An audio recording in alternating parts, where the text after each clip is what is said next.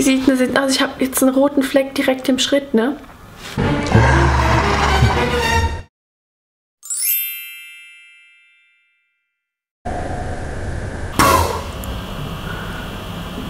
Hallo Leute.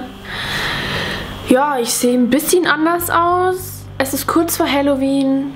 Und das ist natürlich ein Halloween-Video. Ähm, ja, wie man unschwer erkennen kann, bin ich so eine Art Zombie mit ekligen Wunden und da stecken solche Sicherheitsnadeln durch. Ja, ist eklig, finde ich auch eklig, aber macht mega Spaß zum Schminken. Und falls ihr für Halloween noch was braucht, dann schaut euch unbedingt dieses Tutorial an und seht, wie ich das geschminkt habe. Viel Spaß! Ich nehme zuerst einen dunkelroten Lippenstift. Das hier ist der Manhattan Ultimate Cherry 560 und trage den mit einem Lip Liner auf meinem Gesicht auf. Und zwar da, wo ich die Wunden haben möchte. Dann braucht ihr flüssiges Latex. Ich setze euch natürlich alle Links wieder unten in die Infobox. Und das trage ich mit so einem Pinselchen da auf, wo wir jetzt rot gemalt haben.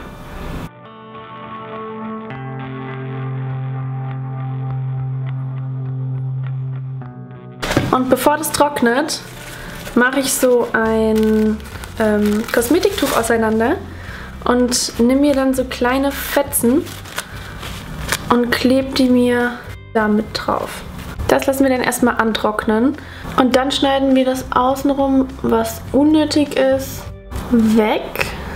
Dann tragen wir nochmal eine Schicht Latex auf.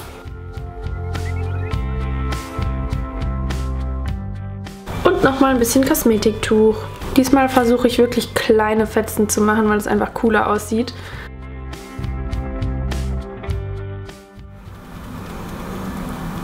Und wieder trocknen lassen. Dann schneiden wir die abstehenden Enden wieder weg. Und dann kommt natürlich wieder eine Schicht Latex, mit der ihr alles richtig schön verstreicht, dass es wirklich so in eure Haut übergeht. Und jetzt müsst ihr es wirklich sehr, sehr gut trocknen lassen, damit wir danach gleich das Ganze aufschneiden können. Wenn es wirklich richtig gut getrocknet ist, dann tragt ihr darüber Make-up auf. Wie ihr das macht, ist natürlich euch überlassen.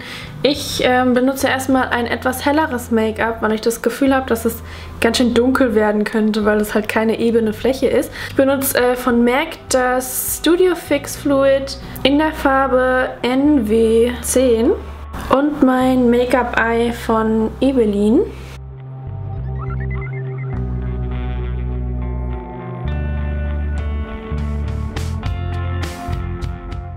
Das ist jetzt natürlich wirklich ganz schön hell, deswegen ähm, benutze ich noch das Fit Me Make-up von Maybelline in der Farbe 105. Und dann setze ich das mit einem transparenten Puder. Jetzt kommt eigentlich ein ganz cooler Teil, denn ich nehme meine Schere und schneide das Ganze auf. Bitte erwischt nicht eure Haut. Das könnte echt schmerzhaft werden. Und ihr solltet da aufschneiden, wo ihr vorher diese rote Linie mit dem Lippenstift gezogen habt. Ich habe so Angst, dass ich mir gerade in die Haut schneide, ne? Ich finde das schon eklig, mich da in der Kamera dabei anzugucken.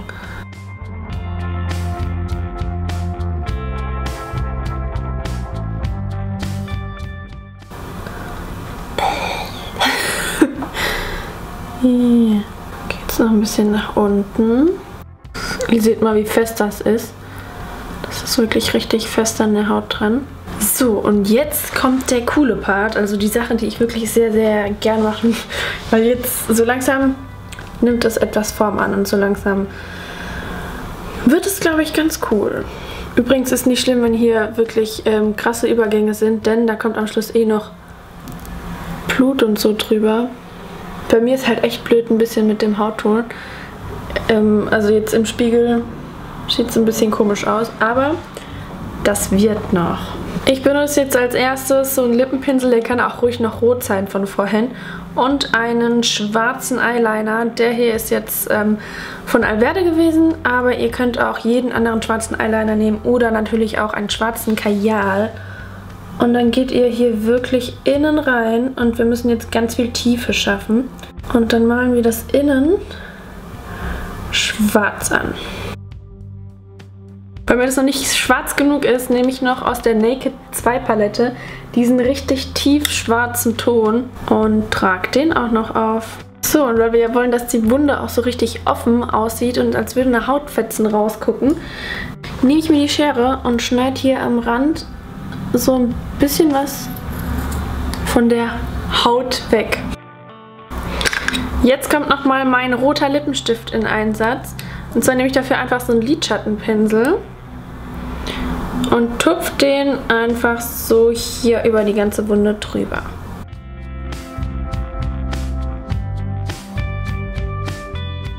Wenn ihr irgendwo das Gefühl habt, ihr habt außen ein bisschen zu viel Schwarz abgekriegt an der, an der Haut, ähm, dann könnt ihr da auch noch ein bisschen was abschneiden.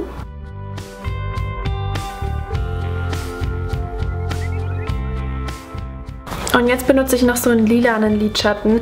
Der sollte auf jeden Fall auch matt sein. Das ist jetzt von P2, die Farbe 200, Purple Shock. Und gebe mir da ein bisschen was auf den Pinsel und tupfe das noch so ein bisschen außen rum, dass es so aussieht, als wäre das ähm, ja, so Blutergussmäßig. Als hättet ihr so richtig eine drauf gekriegt.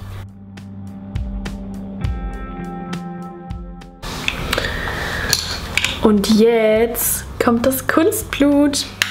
Dafür nehme ich auch wieder diesen Lidschattenpinsel. Und das ist jetzt wirklich ein bisschen eine Sauerei. Also zieht euch alte Klamotten an für den ganzen Look trage jetzt das Kunstblut erstmal in der Wunde auf und dann auch noch ein bisschen außenrum.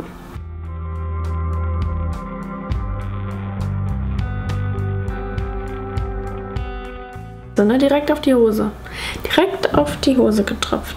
Wie sieht das jetzt aus? Ich habe jetzt einen roten Fleck direkt im Schritt, ne?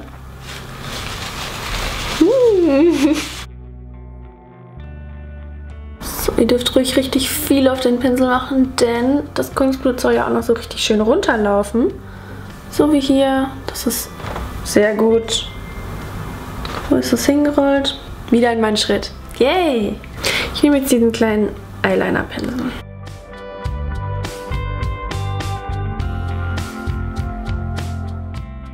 Okay, das ging in den Ausschnitt. Nochmal in den Ausschnitt. Das richtig eklige kommt jetzt aber erst, denn ich nehme jetzt Sicherheitsnadeln. Das könnt ihr natürlich auch drauf machen, bevor das Blut drauf ist.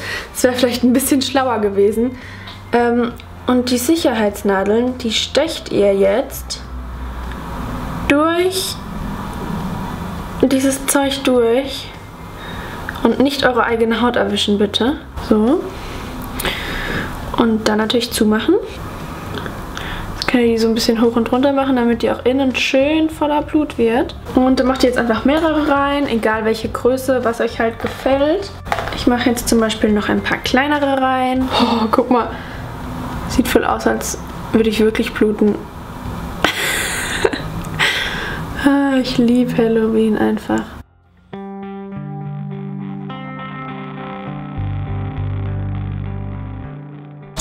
Jetzt nehmt ihr nochmal ein bisschen Latex und befestigt die Klammern quasi. So, dann gehe ich einfach hier ein bisschen unter der Klammer durch und ein bisschen drüber.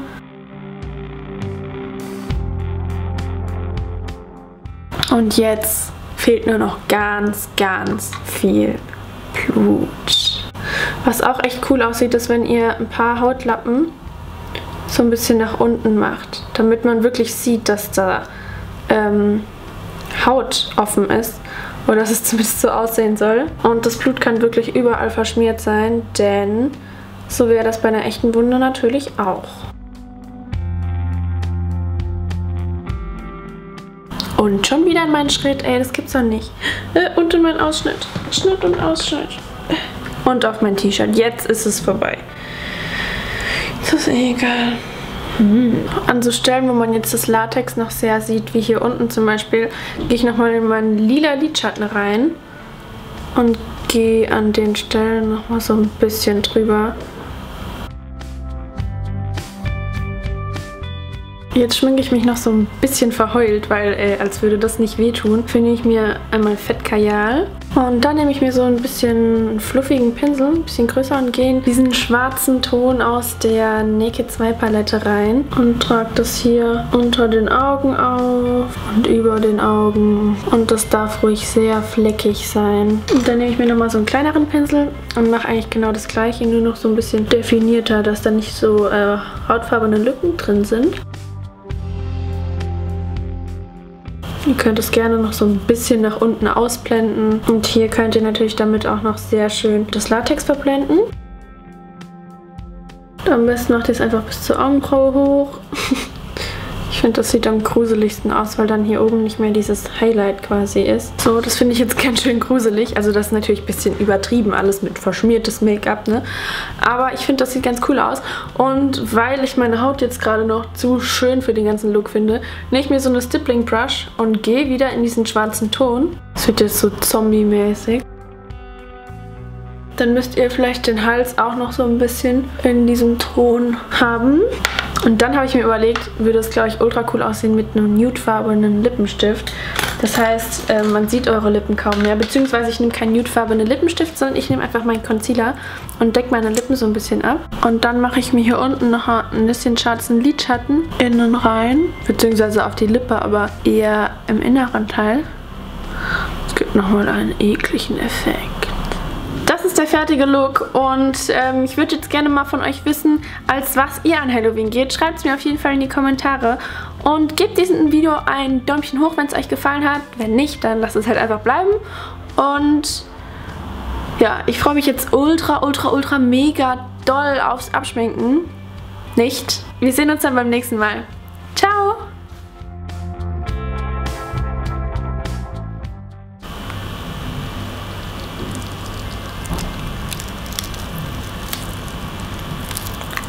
Zieht schon ein bisschen.